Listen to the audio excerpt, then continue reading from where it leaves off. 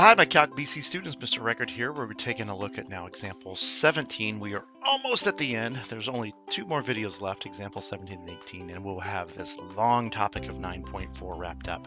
At least we're now in the midst of talking about uh, calculus things with these vector value functions. And as you can see, example 17 is all about finding or determining when a vector value function will be continuous. So let's take a look at our example. So here we are at example 17. The directions say determine the intervals on which the vector value function is continuous. Now, to be honest, there's going to be a lot of similarities between this example and a previous example that we talked about where you were finding the domain.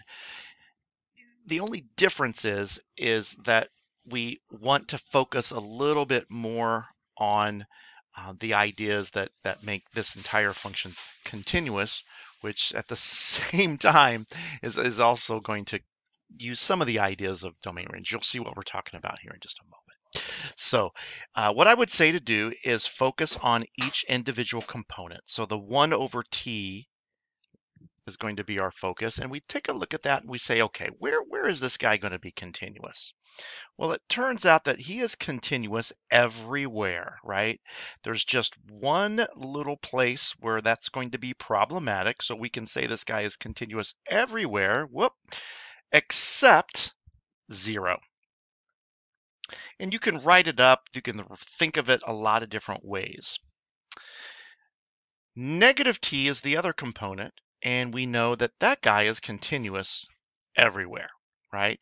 If you want, you can say negative infinity to infinity if that helps you besides uh, saying everywhere. And now the key is to put the two ideas together. You're talking about an intersection here.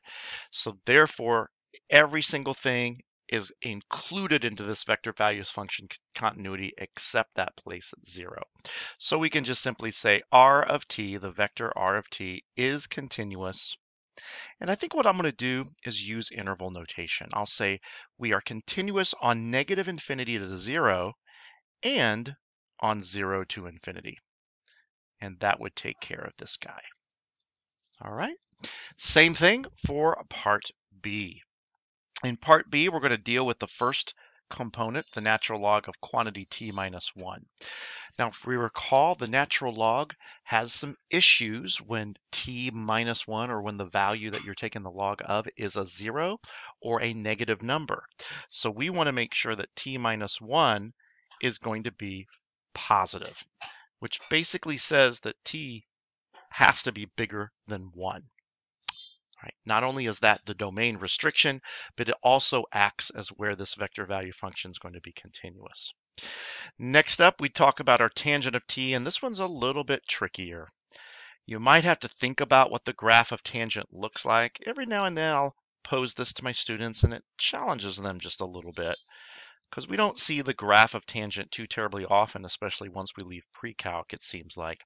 But its graph looks a little something like this, if you recall vertical asymptotes are at negative pi over 2 and positive pi over 2. And then we also want to recall the fact that this will continue this behavior and we will have these vertical asymptotic behavior at various locations of odd pi over 2. So the other one would be over here at negative 3 pi over 2. If I draw one last little cycle in. So there's a variety of ways that you can state this. Um, we don't have to all say the same thing, but we could say continuous um, everywhere except.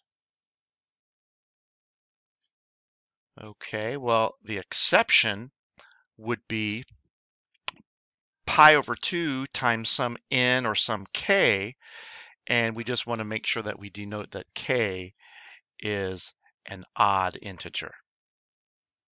And that probably would do a pretty good job of depicting what's happening. Now we have to put these two ideas together. And really, we've only got to exclude numbers that are less than 1 and equal to 1 along with this everywhere except odd numbered values times pi over 2.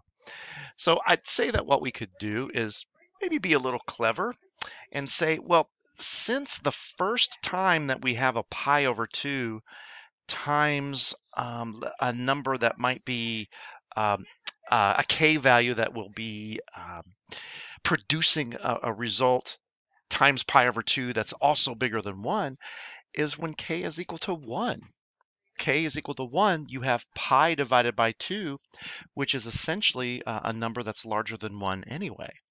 So I think what we're going to be able to do here is say continuous everywhere except, and then we're going to make that rule here, continuous everywhere except when we have t equal to pi over 2 times k, but I think this time we can just simply say k is a positive integer. We don't have to worry about just saying integer because the the negative values aren't into play uh, because we got to rule them out there. Now, are there other ways to convey that? There certainly would be. You just have to make sure that what you would write would be uh, saying the same thing. Uh, I think this one is pretty safe though. And then lastly, we'll take a look at part C here. Cosine t plus inverse cosine t. So if we take a look at this guy, uh, we say that cosine of t, well, we know a little bit about him, right? He's just got a lot of places where he's continuous, right? Over the entire number line, negative infinity to infinity. But inverse cosine of t, totally different story. We had a little issue with sine inverse of t uh, a few videos ago.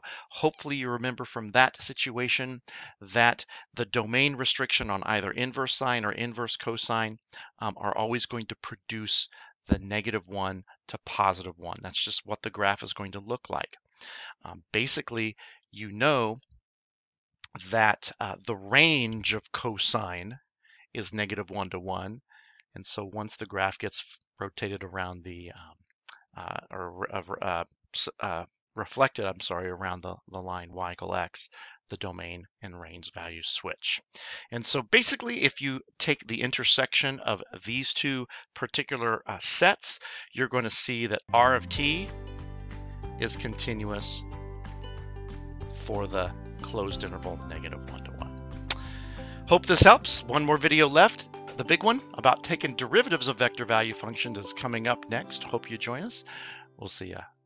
Take care.